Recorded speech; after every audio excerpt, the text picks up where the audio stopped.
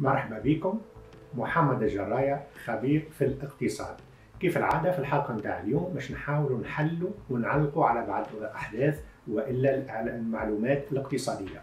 الملاحظة الأولى وإلا الحدث الأول هو أنه بعد الاتفاق اللي وصلت له الحكومة مع تنسيقية الكامور وصحوا معناها المحاضر الكل فما بوادر نتاع أزمة جديدة في الأفق. السبب شنو يقولوا اللي الحكومة لم تبادر إلى حد الآن بالإنجاز نتاع الوعود. وإن كان هي بيدها وقت اللي التزمت بالوعود عملت يعني جدولة يعني كما تقول أنت آه، يوميا وإلا خريطة طريق لكن الوعود الآنية والحينية ما وقعش البداية في التنفيذ نتاعها وبدأ ينفذ صبر معناها التنسيقية في الكامور. ولهنا الحقيقة نفهموا أنه الموضوع هذا والأزمة اللي في الكامور اللي ولات ملحمة ملهمة لعديد الاحتجاجات في العديد من الجهات كما جابس كما قفصه كما باجه كما القصرين كما صفاقس اللي هما كلهم يقول لك كيما عملتوا يا حكومة. مع الكامور وأنتم وعدتوا يا سي رئيس الحكومة. وعملوا معنا إحنا. ولهنا الإشكال يقعد دائما وأبدا في علاقة مع وجود من عدم وجود الإمكانيات والموارد والتمويل. حتى وعد وحتى برنامج ما نجم يقع الإنجاز نتاعه ما غير ما تكون هناك موارد. وإحنا علقنا على الموضوع هذا وقلنا منين باش نجيبوا الموارد اللي وقع الاتفاق عليها. ولهنا بعض الملاحظين في حتى الصحافة قال يعني ولينا في مرحلة جديدة وإن مقاربة جديدة للحكم سماها آه، كامور كراسي يعني كامور قراطية يعني نوع جديد من الديمقراطية. ويقول أن رئيس الحكومة معناها ما أعطاش أهمية للوعود مضبوطة بآجال على قدر ما أعطى أهمية أنه يحب يطبق نفس المقاربة بالنسبة للجهات الداخلية. وتعهد بذلك وبطبيعة الحال هم من حقهم باش يقول لك ما دامك وعدتنا أي أعطينا الإنجاز ودائما وأبدا نقطة الضعف في المقاربة. هذه هي شح وإلا نقص إذا كان ما نقولش انعدام الموارد المالية. في خبر موالي الاتحاد الأوروبي ممثل في فرنسا وفي إيطاليا ما زال يواصل الدعم نتاعه للتجربة التونسية وفي هناك إعانات مهمة للمناطق اللي هي تستحق تأهيل طرقات وبنية تحتية كما المحمدية والمروج والأحياء الشعبية وغيره. الحقيقة هذه اتفاقيات ومعناها هبات مهمة. إن شاء الله يقع الاستعمال نتاعها في معناها الأهداف التي رسل إليها وإن شاء الله الفلوس توصل للمصالح اللي يشوفها المواطن.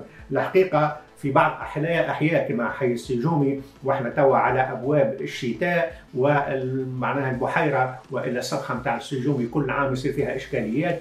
وإحنا على معناها بداية موسم الأمطار شفنا الفيضانات شافت معناها ارتفاع مهول في عدد معناها الاضرار والحجم نتاعهم في جميع الجهات. وهذا بالنقص من البنية التحتية. إن شاء الله يقع التلافي نتاعو.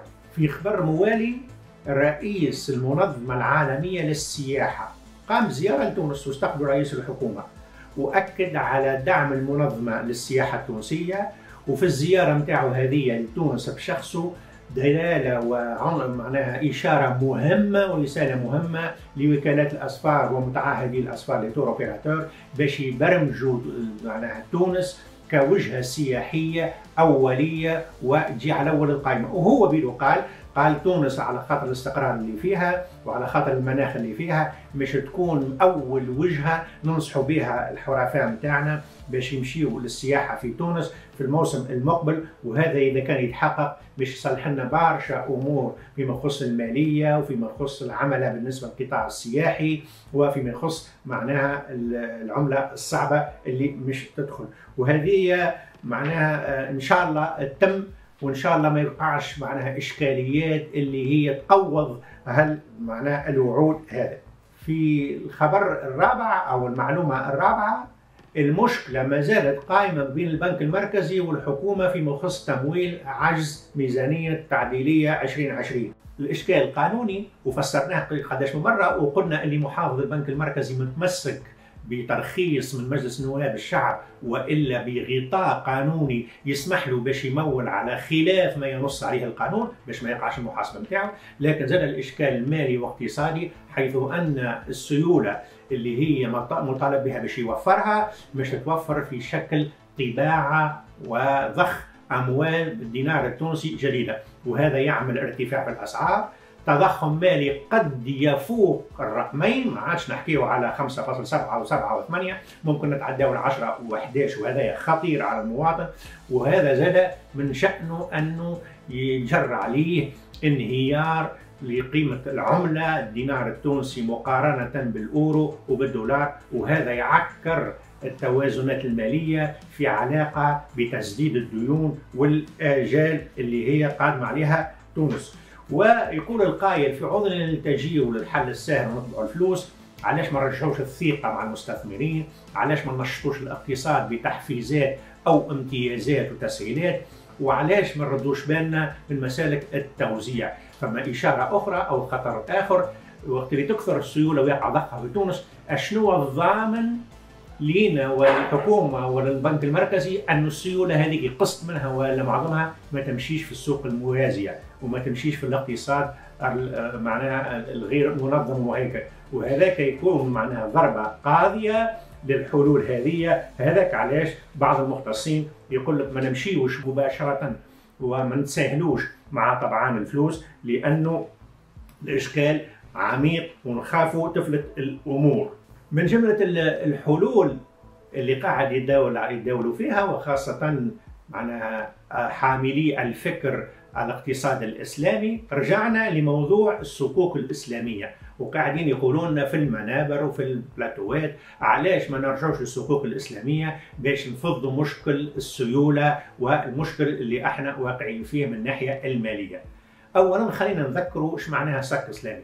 صك إسلامي شابه l'obligation معناها شهادة لكن ما يتعطاش على إثر مساهمة في تمويل الدين كما نعملوا les obligations ونوجدوا الفلوس ومن بعد اللي يتحصل على الفلوس الجهة وإلا الهيئه الهيكل يتصرف فيها كما يحب. لا المبدأ نتاع الصكوك الإسلامية هو أنه مجموعة المدخرين يساهموا ويتلقاو صكوك إسلامية مقابل سهم مساهمة في أصول عينية. يعني يجي يقول لك عندك شي مؤسسة عندك شي ميناء عندك شي ما هو سمعنا هاك المره على استاد نتاع رادس وغيره من المؤسسات اللي تكون أصلية يعني أصول ثابتة ديزيموبيليزاسيون وإلا عقارات واللي تكون تدر مداخيل ثابتة معناها مضمونة وقسم من المداخيل. هذاك يقع الالتزام لايفائه وإلا لتقديمه للناس اللي تشارك في الصكوك الإسلامية هذه. وبطبيعة الحال باش يضمنوا لهم حقوقهم يعطيهم صكوك كما الرقاع والصكوك هذه ينجم يخليها ويستفاد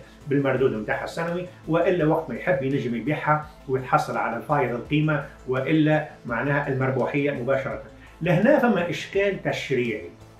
كيفاش نحب معناها نمشيو في المنوال هذا ونلتزموا بمردودية معناها قارة وثابتة سنويا وإحنا معناها في مرحلة استشراف. يعني ما يعلم الغيب كان ربي سبحانه وتعالى ما تنجمش تلتزم بمعناها قسم معين والا مردوديه معينه لأنه فما قاعدة الربح والخسارة. هذه حاجة. حاجة ثانية الصكوك الإسلامية مش ممكن تحل مشكل العجز المالية اللي تعاني منه الحكومة في ميزانية 2020 و21 علاش؟ لأن الحكومة في حاجة لاموال ما غير وعندها مقابل أصول. مش مش نرهنوا هنا ولا مش نعطيو مساهمة لحامل الصكوك مش نعطيو الموظفين اللي ياخذوا الشهري مش نعطيوها معناها النفقات اللي هي تمشي للعائلات وإلا تمشي معناها المتقاعدين. ما هوش معقول. ولذا معناها التلويح وإلا المنادات بتطبيق منظومة الصكوك الإسلامية لحل مشكلة الدولة لا يستقيم من ناحية المبدأ الشرعي اللي مقام عليه الصكوك الإسلامية.